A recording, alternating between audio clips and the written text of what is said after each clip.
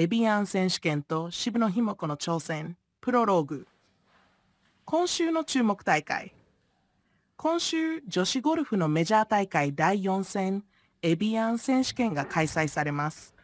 日本からの選手たちの活躍が期待されていますが、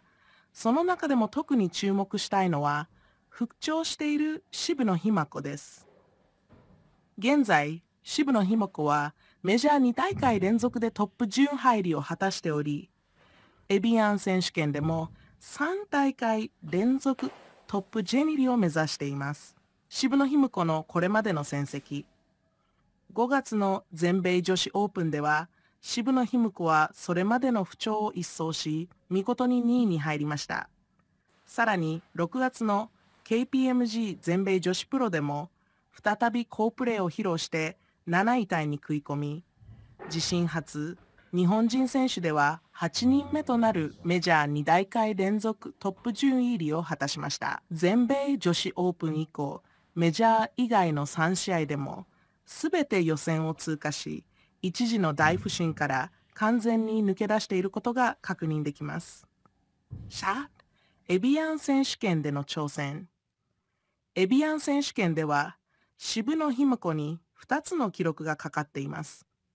一つはメジャー3大会連続トップ10入り。もう一つは現在行われているメジャー5大会すべてのトップ10入りです。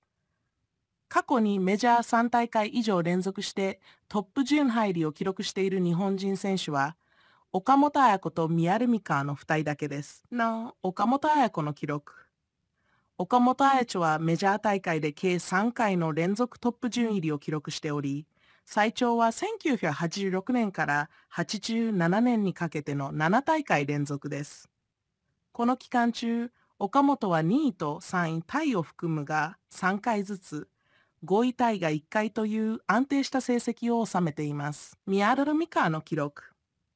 ミアルミカーは2011年と2012年にメジャー3大会連続トップ10入りを記録しています。最高成績は2位タイで、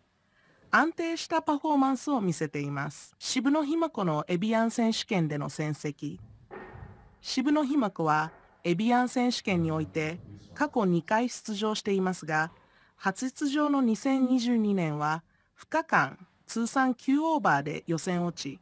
昨年は予選を通過したものの最終日に崩れて59位タイに終わっています。大会の平均ストロークは73.3で、メジャー5大会の中で最も悪い成績を示しています。シャハ期待される記録達成の可能性。昨年までの成績を考慮しても、今年の守備の被膜は上昇ムードにあります。例えば、KPMG 全米女子プロでは、過去の成績を大きく上回り、7位タイに入ることができました。これはエビアン選手権でも同様に好成績を期待できる要因となります。メジャーでの強さをデータで分析。渋野日向子のメジャーでの強さはデータでも証明されています。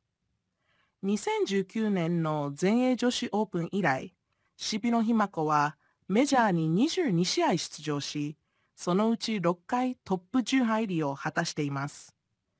メジャーでのトップ10入り率は27.3%で、一般のトーナメントの7.1%を大きく上回ります。渋野卑弥子のプレースタイル。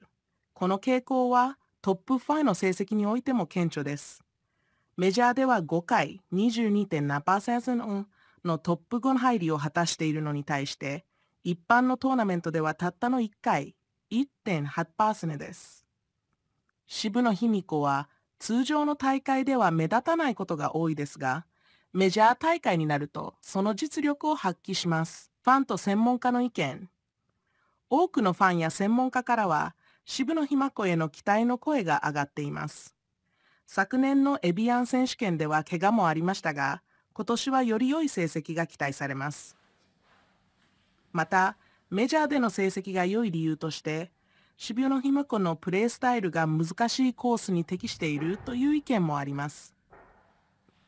ファンの一人はトップ陣入りの記録なんて選手たちはあまり意識しないだろうが、渋野日向子は特に最終日まで優勝争いをしていることが多く、印象に残る試合が多いとコメントしています。これは彼女の強さと安定感を示しています。専門家の一人は、エビアン選手権はアップダウンが激しく、過去のフラットなスイングでは難しいコースだったが、今年のスイングなら対応できるだろうと述べています。また、エビアン選手権以上に苦手な KPMG 全米女子プロでもトップ10入りしていることから期待と不安が入り混じる大会だとしています。エピローグ大会の夕方エビアン選手権での渋野日向子の活躍が期待される中大会の浴衣が注目されます。彼女がトップ順入りを果たすことができれば日本人選手として3人目のメジャー3大会連続トップ順入りとなりさらに全5大会でのトップ順入りも達成することになります。渋野日向子の挑戦に多くのファンが期待を寄せています。また、今大会でいい成績を収めれば、来年の出場権も得ることができるため、大きな意味を持つ大会です。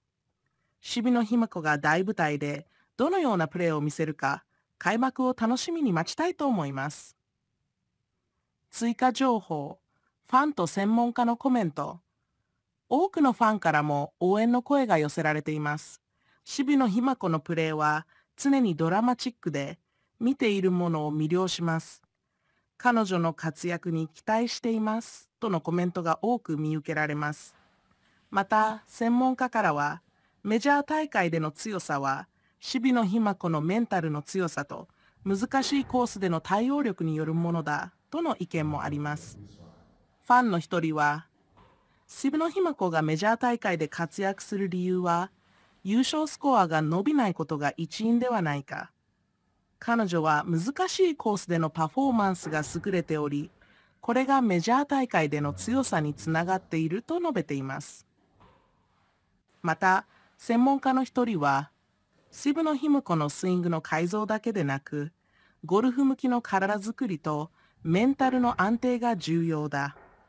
彼女はその全てを備えていると評価しています。結論、渋野日向子がエビアン選手権でどのような成績を収めるか、多くのファンと専門家が注目しています。彼女がトップ陣入りを果たすことができれば、歴史に残る偉業となります。渋野日向子の挑戦とその結果に、今後も目が離せません。